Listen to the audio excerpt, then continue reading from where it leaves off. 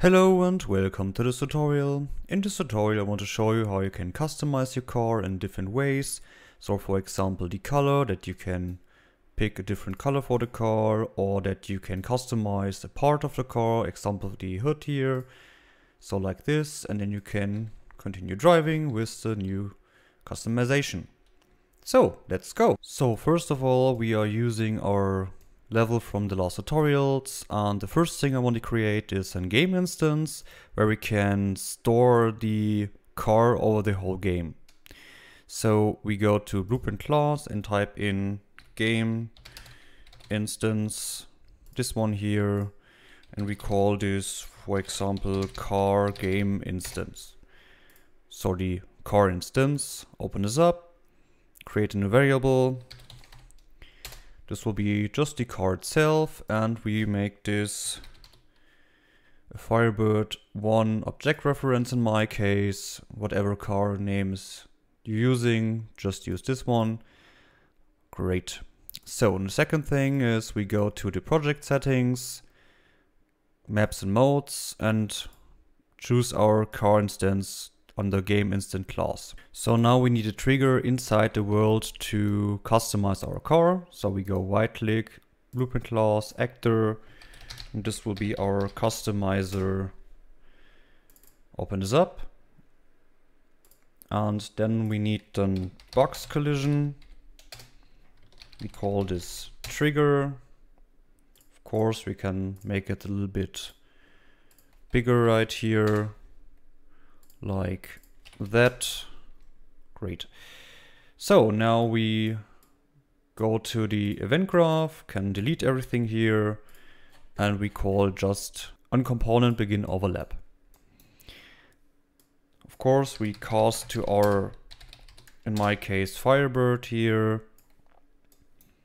And now we need a function. So open up our Firebird here and I already created a stop function, pretty easy, just new function and we, from the last tutorial, we set the motor on boolean to true and just set the handbrake input to true in this case, of course.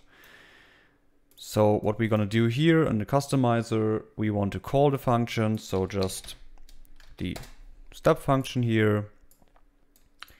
Then we get player controller from here we say show mouse cursor. So we want to set show mouse cursor to true. We want to create a widget. So I already create one. So it's user interface widget. And this is our customizer HUD here. I open this up. So the graph is empty. We fill this later. But this is pretty easy. It's just a text element where we set color and hood. And these are just buttons that I choose the color that I want to use. And these are just buttons for normal and special, nothing complicated.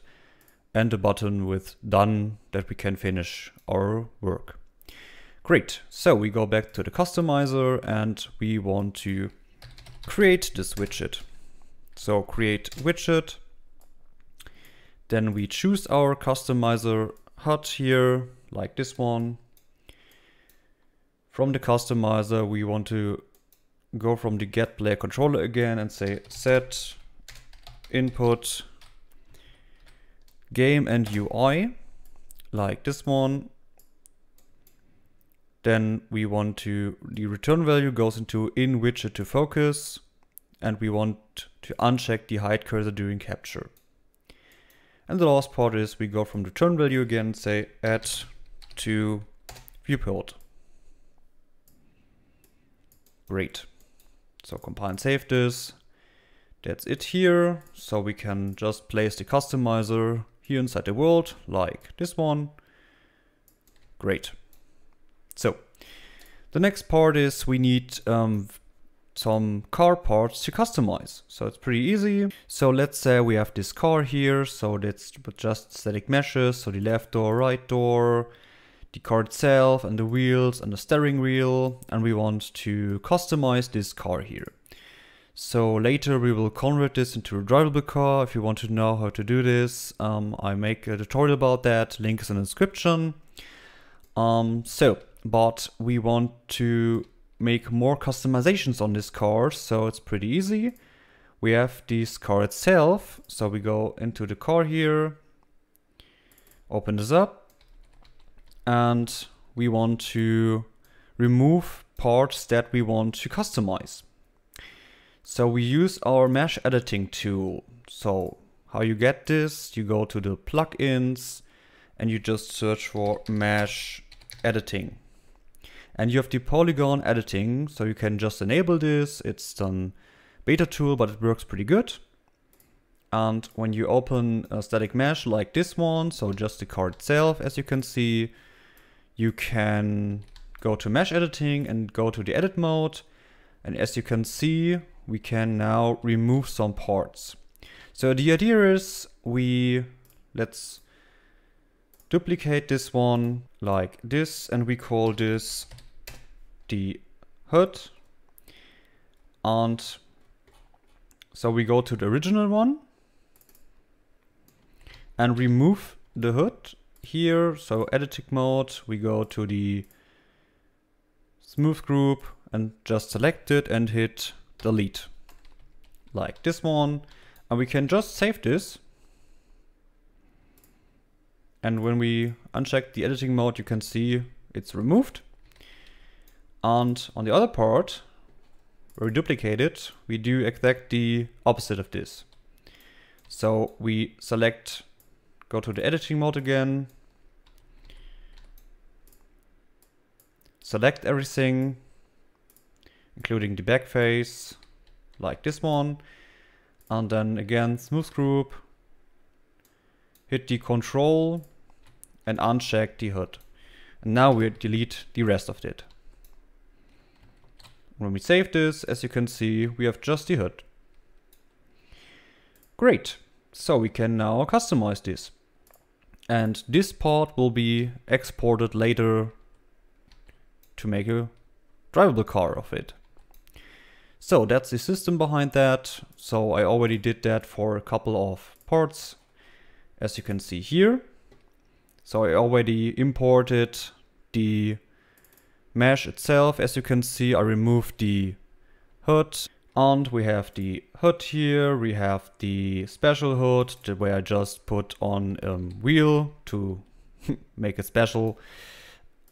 And we have some different car paints. As you can see, it's just different materials. So I take the original one and make it black and red. So the next thing is we go back to our Firebird and we need then begin play event where you want to set the car inside the game instance. So we say get game instance then we cast to our car instance, connected. Then we want to set the car like this one. And the car, of course, is a reference to self, like that. So on begin play, it will set inside the game instance our car, and this will be safe for the whole game. Great. So we can close this one and go back to our customizer. So let's start with the color change. So we go to the black button on click as well as the normal and the red. Like that. Then we need the get game instance cast to our car instance right here connected. Then we get the car.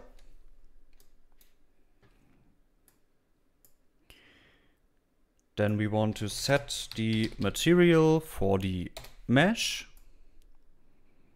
It will connect already like that. And then we just go to the car itself and go to the details, hit the mesh, and we can see the color is the element 1. So we go back here and the index, element index is 1. And then we just copy and paste this for every color that we want to set. Like this one. Connect, of course, the game instance here. And then we have to just choose the colors. So normal, black and red. So I go back to my car parts. That's the normal color. So we put it right here.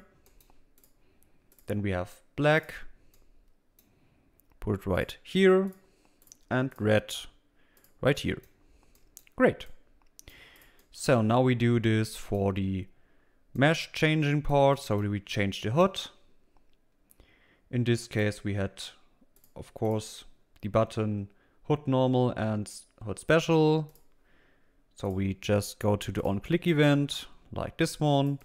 And it's pretty the same thing. We just get the game instance again. Cast to our game instance that we created. Get our car here. And now we just set static mesh for the hood.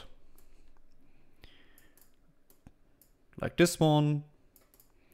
Again, copy and paste this for the other situation, like this one.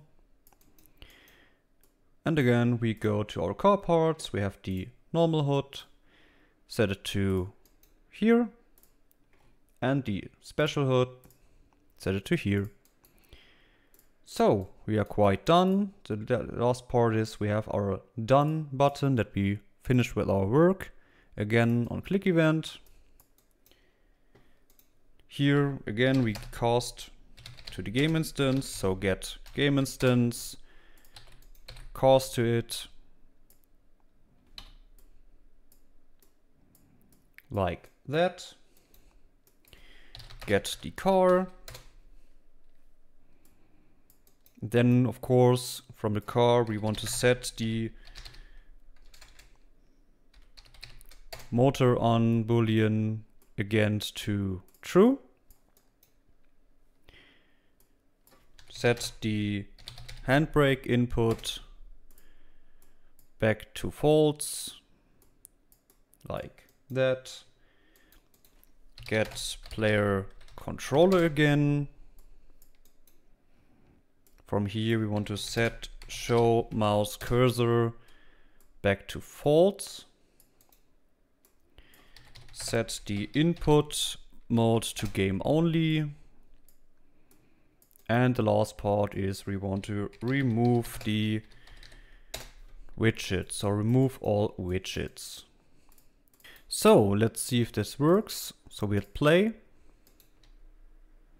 Drive to our trigger here. The widget shows up. We can change the color. We can change the hood here. Of course, this also works with other parts of the car and we hit done. We can continue driving with the customized car.